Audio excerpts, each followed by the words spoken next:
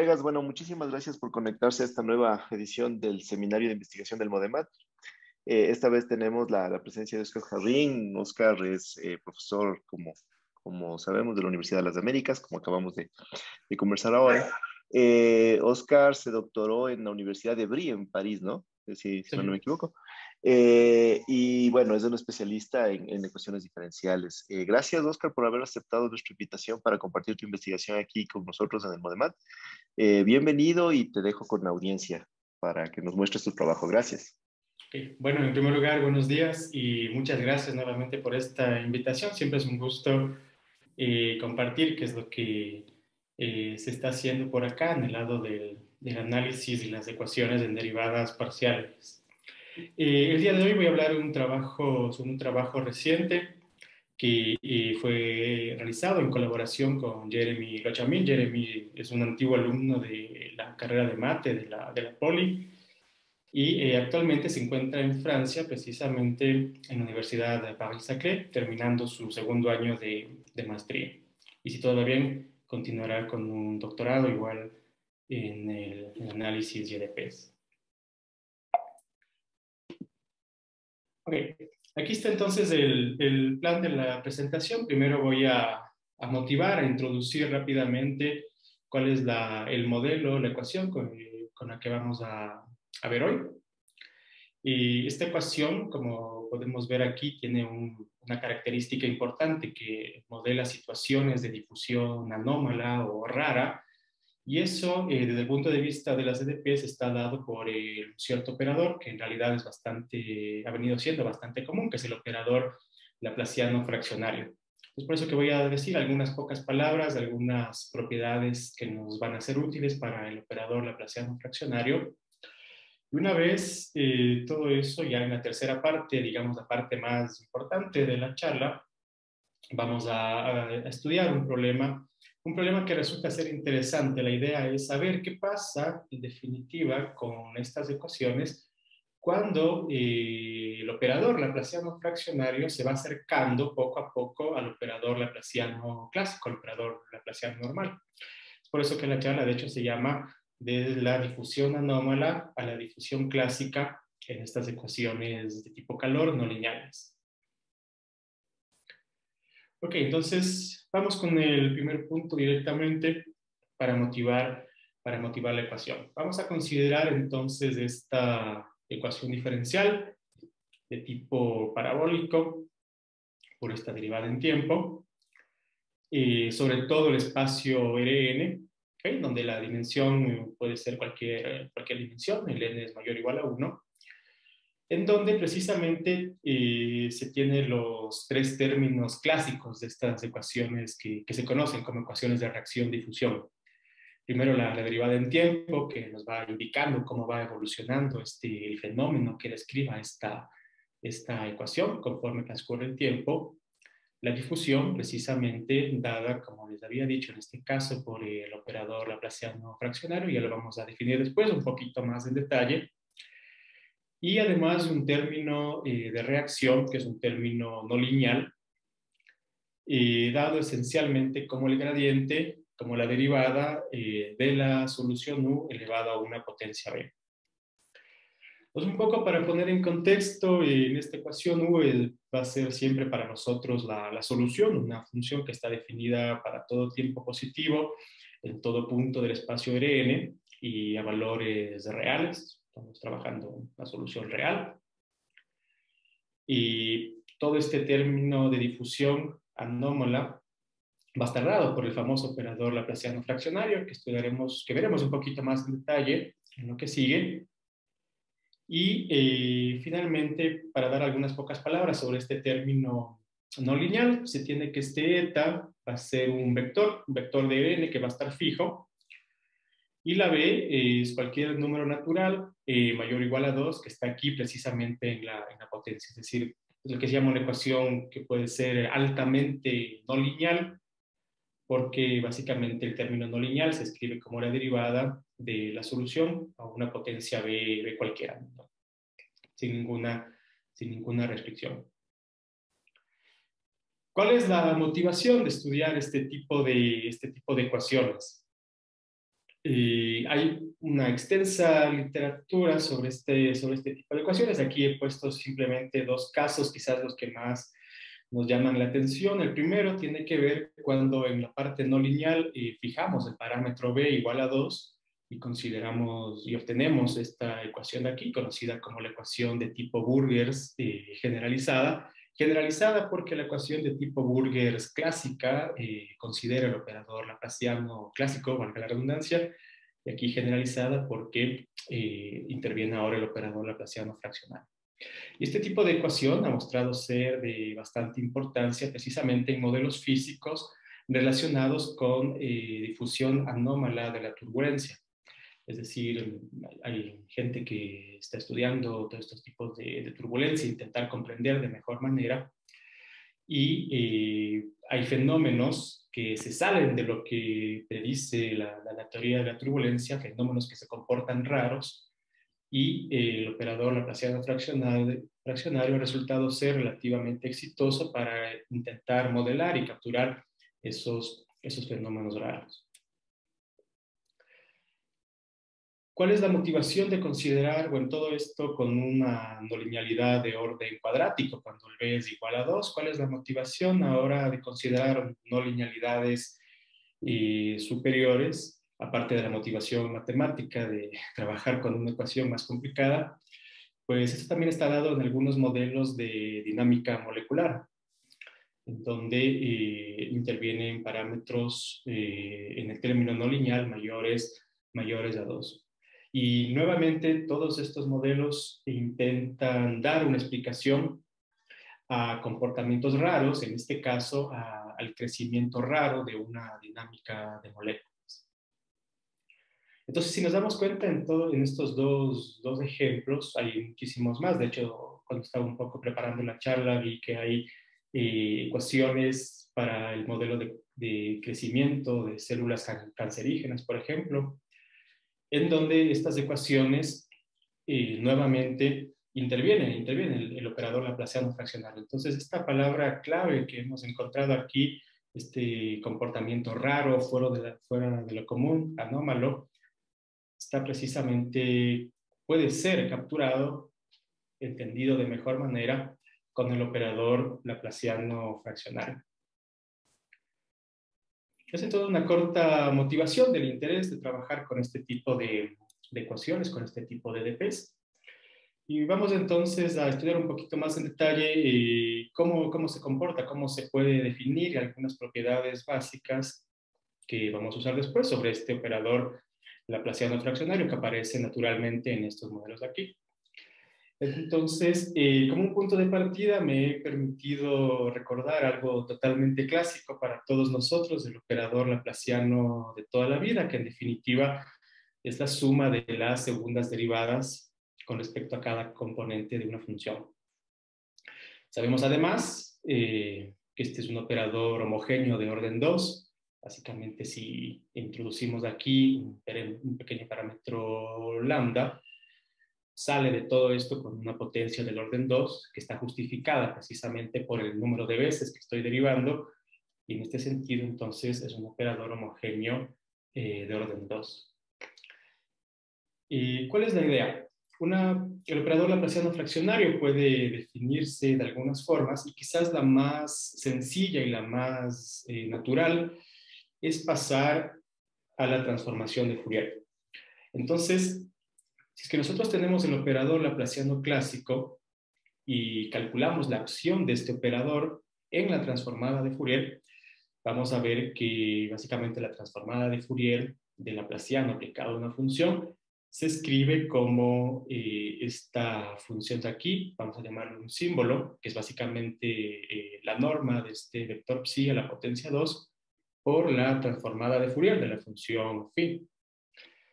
Y esta es una observación importante porque básicamente lo que nos dice es que eh, esta acción de derivar en definitiva dos veces en la variable de espacio se traduce en la variable de Fourier a multiplicar por un polinomio eh, de orden 2.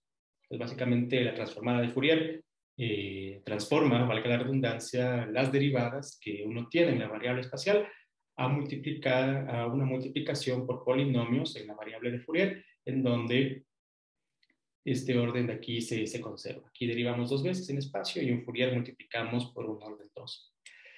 Y con esto en mente, si el operador laplaciano clásico deriva dos veces y por lo tanto en Fourier eh, es la multiplicación por un polinomio de orden 2, resulta muy intuitivo y muy práctico definir, dar una primera definición del operador laplaciano como un operador que intuitivamente deriva alfa veces con un alfa que está entre 0 y 2, y por lo tanto en Fourier podemos definirlo de manera ya más rigurosa como la multiplicación del símbolo a la potencia alfa por la transformación de Fourier de la variable phi. Entonces, básicamente, eh, lo que me interesa que esté claro es que este operador deriva un número fraccionario de veces, por eso que recibe ese nombre de operador laplaciano fraccionario. En este caso estamos derivando alfa veces una función usando esta primera esta primera noción de la transformación de Fourier.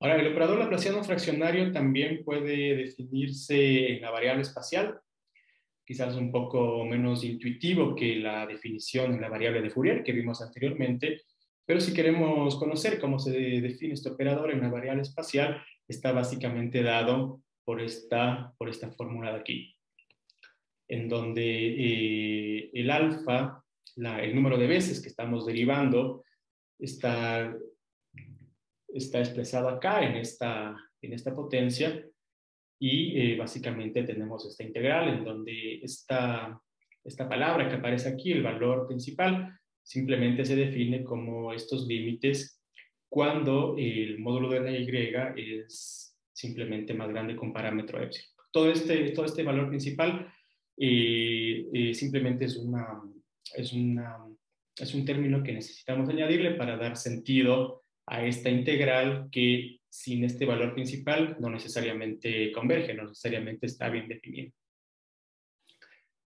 Y en esta, quizás en esta definición del operador laplaciano fraccionario en la variable de espacio, empezamos a ver las diferencias principales con el operador laplaciano clásico.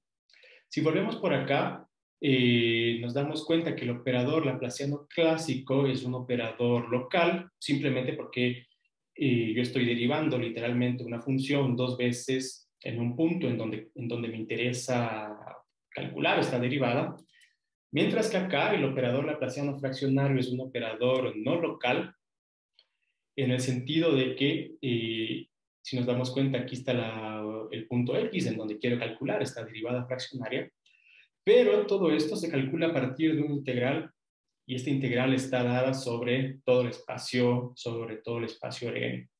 Entonces, esta es una de las diferencias fundamentales del operador laplaciano clásico, que viene a ser local, un operador local, con el operador laplaciano fraccionario, que es un operador no local, porque no solo necesito eh, medir, digamos, la información de la función en el punto x, en donde me interesa derivar, sino también eh, en otros puntos, en todos los puntos del espacio, en todos los puntos de Rn, precisamente por esta integral que tenemos aquí. Y otra de las, otra de las eh, diferencias importantes y quizás más evidentes es la, la, homogeneidad del operador laplaciano fraccionario.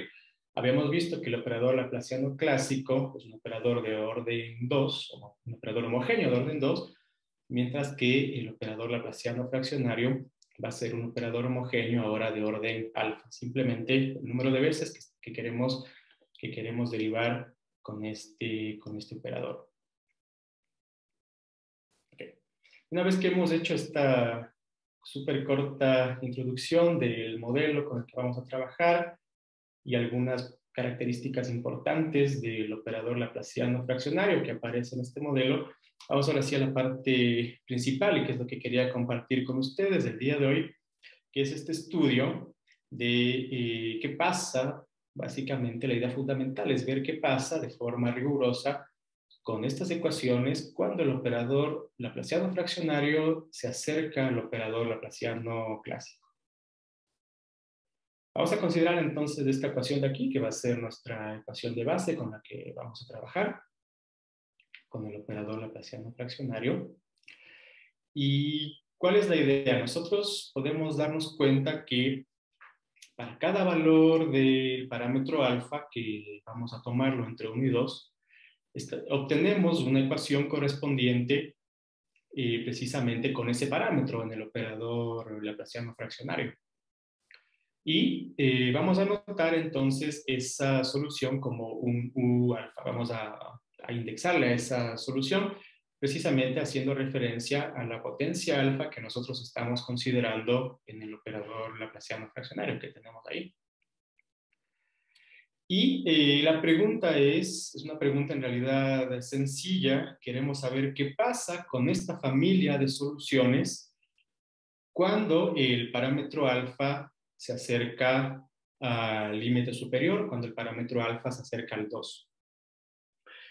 ¿Y por qué queremos, por qué nos propusimos esta pregunta? Básicamente en la motivación en estos modelos que vienen de la, de la, de la física, de la biología, en donde interviene este tipo de, de, en donde interviene este tipo de ecuaciones. Uno encuentra por ahí frases en donde dice, bueno, si el alfa está muy cerca del 2, entonces ellos se permiten eh, reemplazar el operador laplaciano fraccionario por el operador laplaciano clásico y con eso hacen sus estudios, sus modelos en, los distintos contextos. Ahora, evidentemente, desde, un punto de vista matemático no es, tan, no es tan claro precisamente permitirse reemplazar simplemente ese operador por el otro. Y eh, de, esa, de esa lectura, de esos, de esos artículos de investigación, entonces eh, salió esta idea de tener un estudio riguroso, una comprensión de qué pasa exactamente eh, con las soluciones de estas ecuaciones eh, fraccionarias cuando el parámetro alfa se va acercando, se va acercando al 2. Y intuitivamente, que es de hecho lo que, lo que hacen ellos en sus, en sus artículos, si es que el alfa se acerca al 2, Básicamente, si es que colocamos alfa igual a 2 en esta, en esta ecuación, entonces vamos a recuperar el operador, intuitivamente vamos a recuperar el operador laplaciano clásico. Y todo esto nos, nos dice de alguna forma que eh, las soluciones asociadas a estas ecuaciones con esta difusión fraccionaria deberán entonces converger a la solución de esta ecuación aquí asociada al operador laplaciano clásico. Pues, básicamente, eh, todo este estudio se, se, concentra en dar, en entender de manera rigurosa precisamente este, esta convergencia del caso anómalo al caso clásico en la difusión de estas, de estas ecuaciones que tenemos ahí. Y vamos entonces a ver algunos resultados previos, no exactamente en el, en el caso de esta ecuación que tenemos aquí, pero sí que algunos resultados eh, matemáticos que se han puesto este tipo de preguntas con respecto al paso del operador laplaciano fraccionario al operador laplaciano, laplaciano clásico. Entonces, eh, hay, no hay demasiados trabajos en la literatura, efectivamente, pero digamos, aquí simplemente quiero decir algunas palabras sobre los dos que me parecen los más importantes y los más relacionados a este trabajo de aquí. Y el primero eh, considera una ecuación, una ecuación lineal, digamos que efectivamente no se adapta al caso que nosotros queremos estudiar por la presencia de este término no lineal, que efectivamente puede ser mucho más complicado de tratar. Pero en este primer estudio, en el caso de una ecuación lineal, que además está eh, definida sobre un dominio acotado de DRN, es un dominio acotado y con algunas hipótesis adicionales de regularidad. Y básicamente, ¿qué es lo que se muestra en este, en este resultado? Tenemos esta ecuación en donde estos términos f básicamente son datos. Eh, me refiero a que es una ecuación lineal porque eh, es muy importante aquí observar la f no depende de la solución u, es un, es un dato que yo le estoy poniendo a mi ecuación y eh, básicamente eh, este trabajo eh, los autores suponen que se tiene una convergencia conforme el parámetro alfa, perdón, tiende a 2. Entonces esta familia de datos f que tenemos en el lado derecho converge hacia otro dato f, converge en la topología débil de ese espacio que tenemos ahí. Y bajo esa hipótesis y usando algunos argumentos de compacidad principalmente, se puede demostrar que eh, la familia de soluciones asociadas a esta ecuación de aquí convergerá entonces a esta función eh, U2 que viene a ser eh, la solución de esta, de esta ecuación, pero en lugar del laplaciano fraccionario tenemos ahí el operador laplaciano clásico. Toda esta, toda esta convergencia se obtiene en este primer trabajo en la topología débil de estos espacios funcionales que intervienen ahí. Además, es, también, es también interesante, eh, aquí los autores también se preocupan por medir de alguna forma la velocidad de convergencia, es decir, qué tan rápido o qué tan lento estas soluciones de las ecuaciones fraccionarias están acercando a la solución de la ecuación que interviene el operador laplaciano clásico. Entonces, desde el punto de vista numérico, ellos obtienen una tasa de convergencia que está dada básicamente por esta, por esta expresión de aquí, 2 menos alfa a la potencia, a la potencia media. El segundo, el segundo trabajo, eh, en donde interviene ya un término no lineal, fue, eh, fue realizado por eh, Julio Daniel Rossi y algunos de sus colaboradores, en donde consideran esta ecuación diferencial que tenemos acá. Y básicamente podemos darnos cuenta que el término no lineal que ellos tienen es precisamente el término no lineal que nosotros, que nosotros consideramos en la ecuación con la que estamos trabajando. Y acá esta difusión anómala está dado por este operador que le he notado aquí eh, como un j de alfa. Ahora, este resultado, eh, si bien es bastante interesante y podría parecer que se acerca muchísimo a lo que nosotros queremos hacer, de hecho no es del todo así porque eh, una de las hipótesis fundamentales que ellos tienen, que ellos utilizan en este trabajo es que este operador J alfa básicamente eh, es un operador no local, efectivamente, como el operador laplaciano fraccionario, pero sí es un operador que se parece eh, muchísimo al operador laplaciano clásico. ¿A qué me refiero? A que este operador se, se comporta, se parece muchísimo como el operador laplaciano clásico. Y básicamente, si nosotros recordamos de forma súper rápida, eh, la acción del operador laplaciano en Fourier está dada por la multiplicación, por esta función de aquí, que le llamamos un símbolo. Entonces ellos eh, solicitan que este operador J alfa se comporte de la misma forma en Fourier, es decir, la multiplicación por una función, y eh, con la transformación de Fourier de la variable psi, la variable phi, perdón, a la que le estamos aplicando. Y eh, la condición fundamental, eh, técnica y fundamental, es que este símbolo de aquí debe verificar esta condición, es decir, las segundas derivadas de esta función de acá evaluadas en el punto cero, todas y cada una de ellas deben ser iguales a 1. Y en este sentido, es lo que hacía referencia que este operador de aquí es algo muy, muy parecido al operador laplaciano clásico, porque nos damos cuenta efectivamente que esta función de acá, eh, la norma al cuadrado de, de psi, va a verificar esta condición. Entonces, esta es una, una condición técnica, evidentemente, pero eh, fundamental para para el trabajo que, de, estas, de estas personas. Y en este contexto, entonces, los autores pueden mostrar eh, una convergencia nuevamente de las soluciones eh, U alfa de esta, de esta ecuación con este término de difusión dado por ese operador J alfa hacia una solución de una ecuación que, en donde interviene el operador, el operador laplaciano clásico. Es un trabajo muy interesante, se realizan algunas otras, algunas otras eh, resultados, pero digamos este es el resultado que, que nos concierne en este tipo, en este tipo de estudio.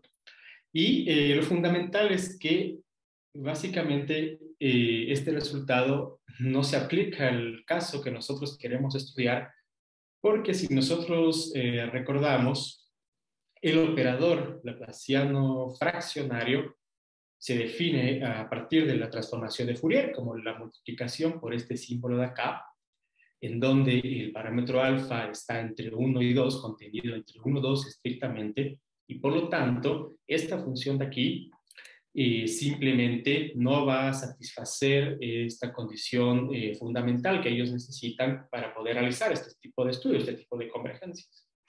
Entonces, realmente hay, un interés, digamos, de trabajar con el operador Laplaciano fraccionario porque realmente este, este trabajo previo simplemente no contempla ese caso.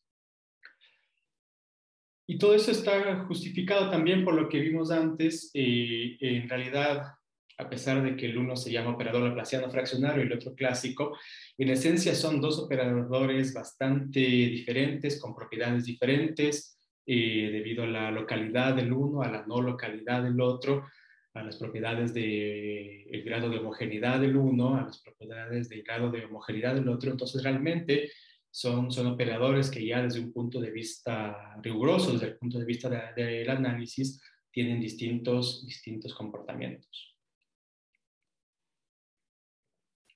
Y con esto entonces eh, vamos entrando a qué, eh, qué, es lo que queremos, cómo estudiamos nosotros entonces finalmente este, este caso, esta convergencia de, de las soluciones asociadas al operador laplaciano fraccionario al operador laplaciano clásico.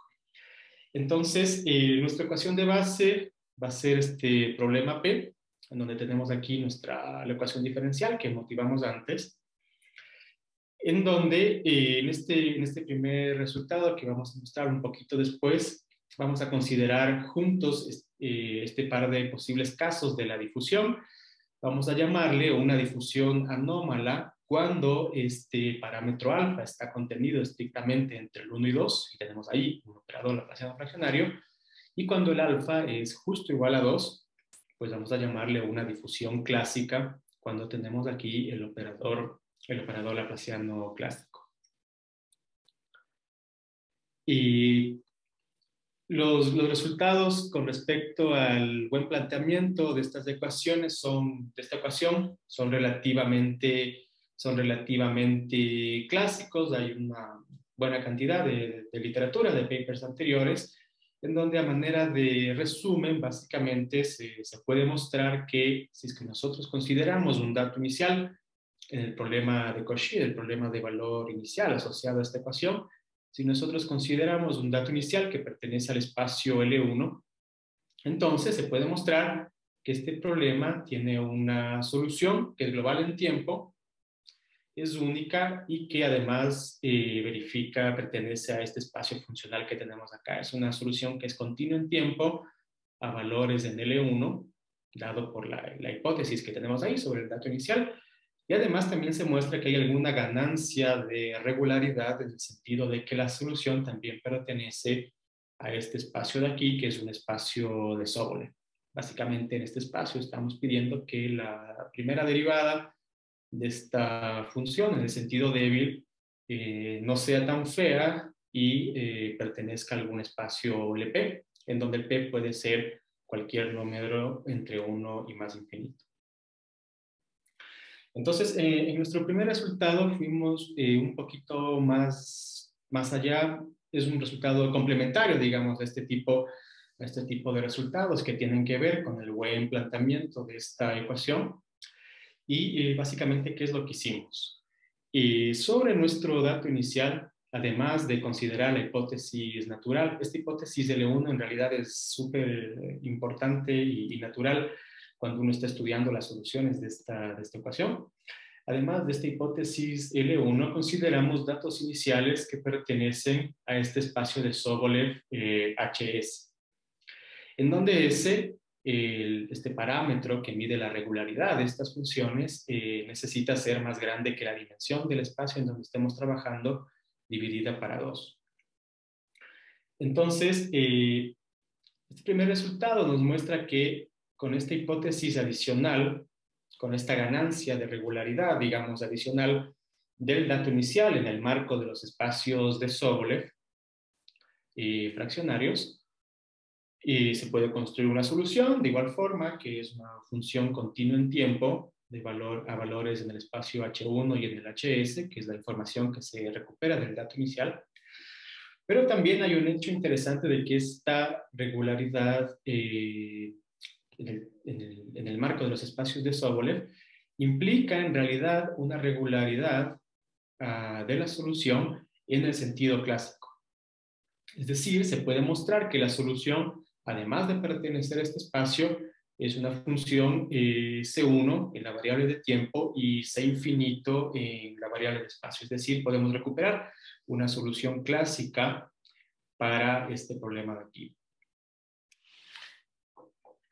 ¿Por qué, por qué eh, nos interesamos en la regularidad? Porque básicamente esta, esta regularidad es una hipótesis que usamos muchísimo para lo que viene después, que es precisamente el estudio ya la convergencia de las soluciones del caso fraccionario al caso, al caso clásico. Entonces, eh, la regularidad que nos daba los resultados anteriores, dadas en este marco de los espacios de Sobolev, W1P, simplemente no era suficiente para realizar este tipo de estudio y es por eso que aquí básicamente en este primer resultado complementario al anterior eh, simplemente mejoramos la regularidad de las soluciones y ahora tenemos soluciones, soluciones clásicas. Una vez eh, esto, entonces ahora sí podemos ir a la parte principal, que es precisamente estudiar la convergencia del caso fraccionario al caso clásico. Entonces, ¿cuál es la idea? ¿Cuál es el ejercicio, digamos, que, ¿Qué vamos a hacer? Vamos a considerar una familia de datos iniciales indexada siempre por la potencia del operador laplaciano que pertenece a este espacio de ahí, en donde por el, teorema anterior sabemos que existe una correspondiente solución, una para cada dato que tenemos acá, eh, asociada a la ecuación que tiene que ver con el operador laplaciano fraccionario. Y eh, de igual forma vamos a considerar un dato inicial indexado por el 2 y U2, la respectiva solución que resuelve evidentemente la misma ecuación, pero ahora en lugar de la, del laplaciano fraccionario que tenemos en estas soluciones aquí, en la ecuación, este 2 nos dice que estamos trabajando con el operador laplaciano clásico. Y entonces, este, digamos, es el resultado principal eh, del estudio del paso del operador laplaciano fraccionario al operador laplaciano clásico. Y vamos a ir eh, explicando poco a poco cuál es el interés y qué es lo que nos dice, y qué es lo que nos dice este, este teorema. Y básicamente, en esta, en esta primera parte, en esta hipótesis, estamos asumiendo que la sucesión de datos iniciales de, los, de las ecuaciones con el laplaciano fraccionario convergen evidentemente a la solución, al, dato inicial, perdón, convergen al dato inicial asociado al operador laplaciano clásico. Y además estamos nosotros eh, suponiendo que estos datos iniciales eh, convergen con una cierta tasa de rapidez, que está medida eh, por esta expresión 2 menos alfa con un parámetro, con un parámetro gamma estrictamente positivo. Entonces, Aquí, como les decía, básicamente estamos suponiendo que esta familia de datos converge a este dato de acá. Y con eso, entonces, nosotros eh, podemos mostrar que la familia de soluciones asociadas a estos datos, eh, en el caso fraccionario, converge a la solución asociada al dato, en el caso clásico, con el operador clásico. Y además podemos también eh, ir un poquito más allá y dar una tasa de convergencia de estas soluciones de aquí a estas soluciones de acá. Básicamente, esta tasa de convergencia está dada eh, por el máximo, por la cantidad más grande entre estas dos. La primera viene por la tasa de convergencia que nosotros suponemos sobre los datos iniciales y la segunda está dada por esta, por esta expresión 2 menos algo. ¿Y cuál es el interés ¿Cuál es el interés? Entonces, algunas, algunos comentarios sobre este, sobre este resultado. Eh, precisamente el tipo de convergencia que nosotros estamos obteniendo es diferente a los, resultados anteriores, en el sentido que aquí eh, podemos estudiar una convergencia uniforme, tanto en la variable temporal como en la variable espacial. Estamos en la norma el infinito. Y también nosotros podemos estudiar, ir un poquito más allá y estudiar cuál es la tasa, la rapidez de esta convergencia. Y para ello eh, quisiera detenerme un poquito más en esta, en esta expresión, porque si recordamos este resultado, eh, nos dice que las soluciones están convergiendo con esta, con esta rapidez. Básicamente aquí tenemos una competición entre estos dos términos, entre el primer término, el 2 menos alfa a la potencia gamma, y el segundo término, el, el 2 menos alfa. Entonces la idea es cuál término le gana a cuál y por qué precisamente lo que tenemos acá, un poquito más en detalle, si es que este parámetro eh, gamma, que es un dato, estamos suponiendo que los datos iniciales convergen con esa rapidez, está entre 0 y 1, entonces tenemos evidentemente que el máximo de estas dos expresiones está dada por esta expresión de aquí. Y en definitiva, en este caso, podemos decir eh, en palabras simples que si los datos iniciales no convergen eh, demasiado rápido, entonces las soluciones convergen con la misma rapidez que nosotros habíamos dado a la convergencia de los datos iniciales. En cambio, si los datos iniciales en el otro caso convergen más rápido, cuando el gamma es mayor a 1, el máximo entre estas dos cantidades desde el 2 menos alfa. Y eh, lo interesante es ver que las soluciones no siguen entonces la tasa de convergencia de los datos, sino tienen una tasa de convergencia más lenta que está dada por esta expresión de 2 menos alfa. Y no sé cómo estoy de tiempo. Tienes todavía, Oscar, no hay problema, unos 10 minutos más. Ok. Bueno, para pasar a esa parte, simplemente este era el interés, eh, hacer este estudio de qué tanto siguen las soluciones, la rapidez que nosotros estamos asumiendo sobre los datos. Y aquí eh, quería dar algunas ideas muy, muy cortas, muy, muy precisas sobre cómo realizamos nosotros este, cómo se demuestra este, este teorema.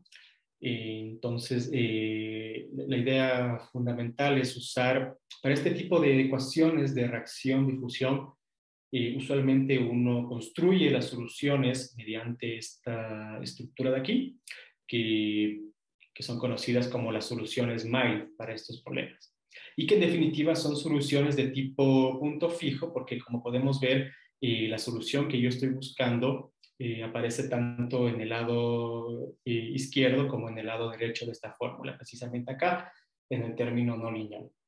Y una característica común para todas estas soluciones MILE, que se escriben mediante esta estructura de aquí, en donde aparece una cierta función, esta función P alfa, que se conoce como el núcleo de convolución.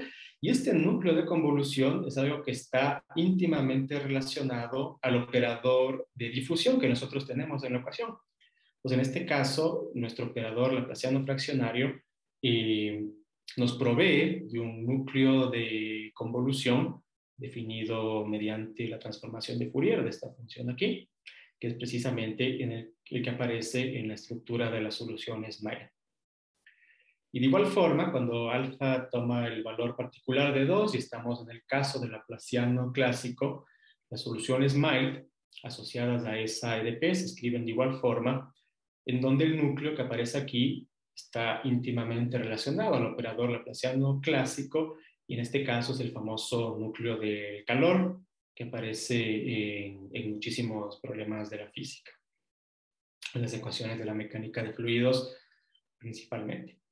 Entonces, básicamente uno, uno construye las soluciones tanto del problema fraccionario como del problema clásico, eh, resolviendo este tipo de, ecuaciones eh, mediante algún argumento de punto fijo. Entonces, ¿cuál fue eh, la idea clave? Es estudiar qué pasa con los núcleos de convolución que aparecen en la, en la estructura de estas soluciones. ¿Qué pasa con los núcleos de, de convolución del caso fraccionario cuando eh, el parámetro alfa se acerca a 2 y llegamos al caso de la difusión clásica. Entonces, en este, en este caso, digamos, el lema fundamental en el que se concentra toda la demostración de ese resultado es que nosotros podemos dar una, una tasa de convergencia eh, relativamente precisa de los núcleos de convolución del caso fraccionario al núcleo de convolución, al núcleo de calor en el caso clásico. Todo esto en el marco de este espacio de Sobolev de regularidad negativa, donde estamos en el H menos S. Bueno, eso de ahí es simplemente un, un detalle más técnico más que otra cosa, en donde finalmente se puede estudiar sin problema ese tipo de, ese tipo de convergencia. Y entonces, eh, una vez hecho esto, eh, la idea es considerar la resta de dos, de dos soluciones, la del caso fraccionario con la del caso clásico. Esto de aquí, eh, separarlo en estos dos términos. Un término en definitiva que concentra las partes lineales de estas soluciones, en donde intervienen los datos iniciales, y otro término en donde concentra las partes no lineales de estas soluciones dadas por estas, estas fórmulas de acá.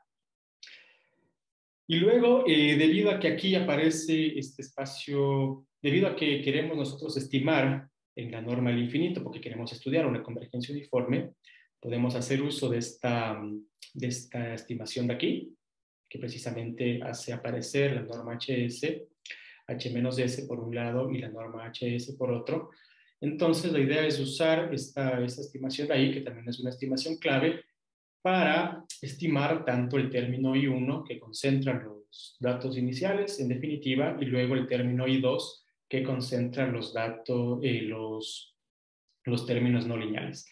Entonces, ¿qué es lo que obtenemos aquí? Vemos que es la parte más interesante de la prueba y lo que da y lo que justifica un poco lo que vimos en el enunciado del teorema anterior, es que este término I1, eh, de hecho, eh, es el que nos da la velocidad de la convergencia de las soluciones y es aquí en donde interviene precisamente, en donde hay esa competencia entre la rapidez de convergencia que nosotros suponemos sobre los datos iniciales y la rapidez de y esta otra eh, rapidez de convergencia.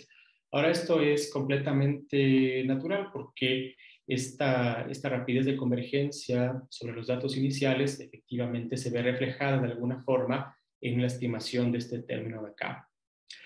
Y el otro término, el otro, el término no lineal, que en toda esta historia de las ecuaciones no lineales es el, usualmente el término más complicado de tratar, en donde se van las 20 páginas del paper para hacer todas las estimaciones, precisamente nos muestra que este término I2 tiene esta, esta tasa de convergencia. Y con eso juntando, juntando esas dos, entonces finalmente tenemos, tenemos el resultado de ahí.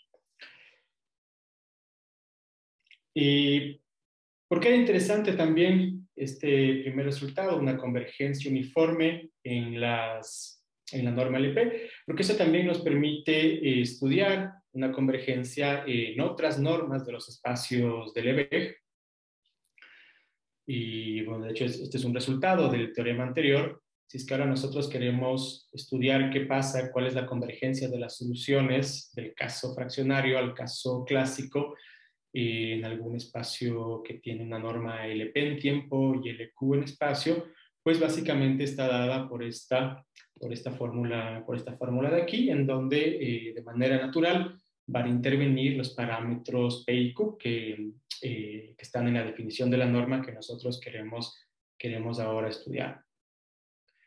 Y un, ¿Por qué este resultado de aquí? Eh, básicamente porque sabemos que estamos en el, buen, en el buen sentido, porque si es que nosotros tomamos de forma particular P Q igual a 2, tenemos básicamente esta tasa de convergencia dado por el parámetro medio que aparece ahí, que es precisamente lo que se había evidenciado antes desde trabajos numéricos, principalmente en el caso, en el caso no lineal, en el caso lineal, perdón, que les había mostrado antes, se tiene este, este tipo de convergencia en el caso de la norma L2-L2, que eh, se deduce de este, de este corolario, de este resultado ahí.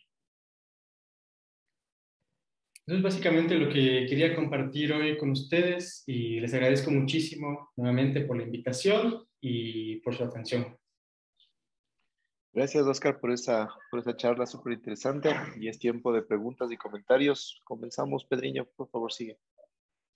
Hola, Oscar, muchas gracias por la presentación. Estuvo súper clara y, muy interesante, la verdad.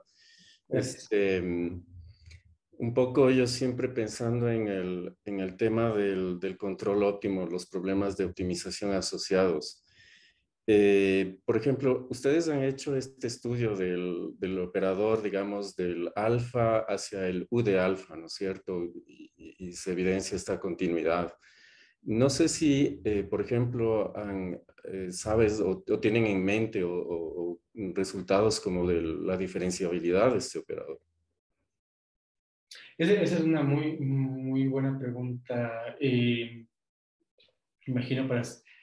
De lo que conozco, eh, los resultados anteriores, no. Pero sí, sí, sí podría pensar efectivamente dar, digamos, propiedades más finas una vez que sabemos que al menos funciona. Estudiar propiedades más finas, efectivamente, con la diferenciabilidad. si entiendo bien, sería una diferenciabilidad respecto al parámetro alfa, a ver cómo eso y cómo eso va cambiando, ¿no? Conforme... Sí, sí, sí. Justamente para poder establecer, eh, tener eh, información de primer orden, digamos, para la optimización, digamos, asociada. Sí. Pero, o sea, sería una cosa súper, súper interesante, al menos para, mí, para mí. La otra, otra pregunta que tenía es, eh, igual, por ejemplo, en, los, en los resultados que mostraste, eh, ¿Cómo cambiaría el tema de eh, si es que se consideran dominios acotados, por ejemplo? No sé si, por, si eso ayuda o no ayuda, por ejemplo, a eliminar esta hipótesis del HS en la condición inicial, no, no idea. Y en ese caso, yo diría, eh, cambiaría, cambiaría la, la, estrategia de la prueba, porque aprovechando que estamos en todo el espacio, de hecho, eh, podemos, tenemos aquí, este es un producto de la convolución que está definida en, todo el espacio, entonces eh, todo eso permite darle un sentido a estas soluciones MILD. En el caso de dominios acotados, yo diría, eh, no necesariamente tiene sentido este tipo de soluciones, porque si nos damos cuenta, todo lo que estamos considerando aquí son operadores no locales, están divididas en todo, en todo el N, la transformada inversa, la convolución. Pero eh, imagino siguiendo algunas, algunas de las ideas de acá, del caso lineal que les había presentado, y se puede estudiar eh, otro tipo de soluciones, soluciones débiles, propiamente hablando, soluciones en el sentido de las, de las distribuciones que están adaptadas tanto al caso del espacio, de todo el espacio, o también en dominios, en dominios acotados, que es este, que es este, que es este caso de aquí. Precisamente en, este, en este artículo ellos al considerar un dominio acotado, irregular, la, la, calidad, digamos, de la convergencia que ellos obtienen desde la topología débil, precisamente por, los, por las herramientas que necesitan usar al estar en, en dominios acotados. Chévere, interesante. Se puede pensar cosas en esa dirección. Eh, y, y, una última pregunta solo para, por curiosidad, eh, más, más tema filosófico en realidad, eh, ustedes utilizan como, o sea, desde el punto de vista práctico, los problemas con laplacianos fraccionarios, digamos, pueden modelar como, como esas cosas de, eh, no locales, ¿no? Esos crecimientos anómalos, por ejemplo, los que se dan en cáncer. Pero ustedes utilizan el problema fraccionario para aproximar el problema clásico. Entonces, e, es, ¿qué, ¿qué, motivación está detrás de eso? O no, no, sé si, mm, porque desde el punto de vista práctico es como que lo fraccionario tiene más posibilidades de modelamiento, digamos, de, alguna manera. Sí, sí, eh, efectivamente. Bueno, era la, la, motivación fundamental para hacer eh, matemáticas. Y otra, otra motivación, eh, no, recuerdo si lo mencioné, en, este tipo de trabajos eh, básicamente eh, hay, algunas partes en donde ellos dicen si el alfa está muy, muy cerca del 2, eh, básicamente reemplazan el, el, operador laplaciano por un operador clásico. Entonces, básicamente esa fue la, la motivación de bueno, uno como, digamos, matemático, dice, ok, eso no se puede hacer así tan, tan simplemente. porque es un operador súper diferente, el, el, el fraccionario del clásico. Entonces, básicamente es esta idea de ver qué pasa con estas, con estas soluciones, con estas ecuaciones, cuando este alfa se acerca al 2, vino, vino desde, esa, desde, ese punto de vista. Ah, ok, chévere, chévere. Muchas gracias, Oscar. Gracias, gracias. Gracias. ¿Más preguntas, comentarios? Oscar, yo tengo una, un par de preguntas igual, más bien, no sé, más, no sé si filosóficas o más bien ingenuas, la verdad, así que, eh, verás, la, una es un poco esta cosa del comportamiento de los datos iniciales. Eh, hay que, tienes estas condiciones en una norma más bien compleja, HS, etcétera. Eh, en, en, estas aplicaciones, en el contexto, por ejemplo, de, este, de estos crecimientos anómalos y demás, ¿es posible encontrar eh, conjuntos de datos iniciales que se comporten así? ¿No, no es demasiado restrictivo o, o, es como estándar dentro de, esa, de, esa, de, esa, de, este, de ese tipo de modelos? Sí.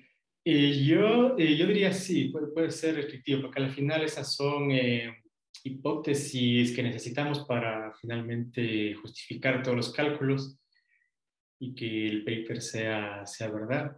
Ahora, en un, si es que eso está relacionado, digamos, ya a algún problema de, de, la práctica, un problema de la vida real, imagino que sí, sería, sería, sería más, bastante más restrictivo considerar precisamente datos en este espacio, en este espacio HS. Digamos, todo, todo esto nació con una motivación de este tipo de modelos, pero ya en el trabajo en realidad eh, nos salimos de, de esa motivación y y básicamente nos dedicamos a hacer cosas de análisis GDPs. Ya verás. Eh, ¿Más preguntas o comentarios? No, creo que, creo que no más.